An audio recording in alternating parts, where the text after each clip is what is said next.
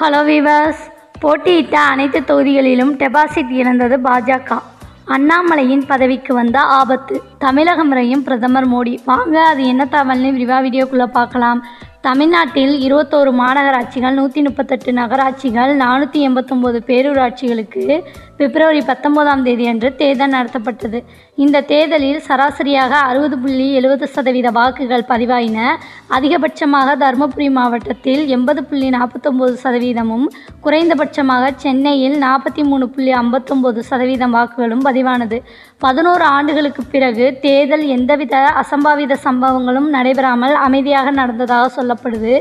இதற்காக மொத்தம் முப்பத்தி ஓராயிரத்தி நூற்றி ஐம்பது வாக்குச்சாவடிகள் ஏற்பாடு செய்யப்பட்டிருந்தன. மேலும் தேர்தலுக்காக ஒரு லட்சத்து அறுபதாயிரம் மின்னணு இயந்திரங்கள் பயன்படுத்தப்பட்டன. மூன்றடுக்கு பாதுகாப்பு வாக்குப்பதிவு முடிந்ததும் மின்னணு வாக்கு இயந்திரங்கள் அனைத்தும் பலத்த பாதுகாப்புடன் வாக்கு எண்ணும் மையங்களில் வைக்கப்பட்டுள்ளது. அங்கு துப்பாக்கி ஏந்திய போலீசாருடன் மூன்றடுக்கு பாதுகாப்பு போடப்பட்டது. சிசிடிவி கேமராக்கள் மூலம் இருபத்தி நாலு மணி நேரமும் கண்காணிக்கப்பட்டு வந்தது. காலை எட்டு மணி முதல் வாக்கு எண்ணிக்கை நடந்து கொண்டிருக்கிறது. பிப்ரவரி இருபத்தி ரெண்டு தமிழ்நாடு முழுவதும் இரநூத்தி அறுபத்தெட்டு மையங்களில் காலை எட்டு மணி முதல் வாக்கு எண்ணிக்கை தொடங்கி வருகிறது. முதலில் தபால் வாக்குகள் எண்ணப்பட உள்ளன.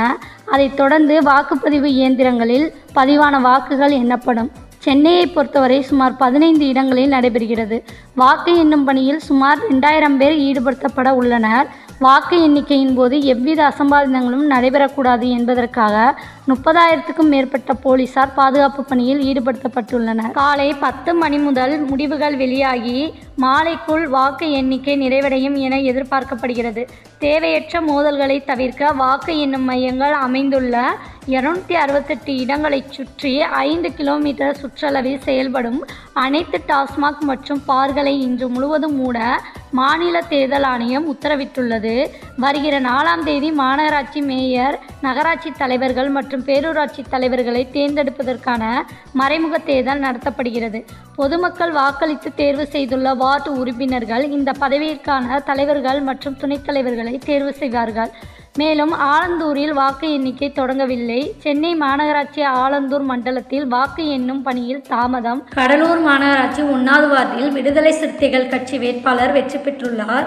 மாநகராட்சி வார்டு வெற்றி நிலவரம் மாநகராட்சியில் தற்போது வரை இருபத்தி நாலு இடங்களில் திமுக வெற்றி பெற்றுள்ளது. இரண்டு இடங்களில் அதிமுகவும் ஒரு இடத்தில் சுயேட்சையும் வெற்றி பெற்றுள்ளது. மேலும் பாஜக போட்டியிட்ட அனைத்து இடங்களிலும் டெபாசிட் இழக்கும் சூழ்நிலையே உருவாகி வருகிறது.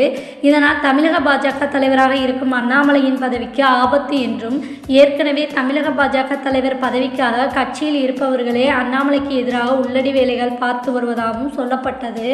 இந்நிலையில் பிரதமர் மோடி தமிழகம் வந்து இந்த தேர்தல் தோல்வி பற்றி ஆலோசிக்கலாம் என்றும் இதனால் அண்ணாமலை அப்செட்டில் இருந்து வருவதாகவும் தகவல் வெளியாகியுள்ளது. ஓகே வியூவர்ஸ் தேங்க்ஸ் ஃபார் வாட்சிங்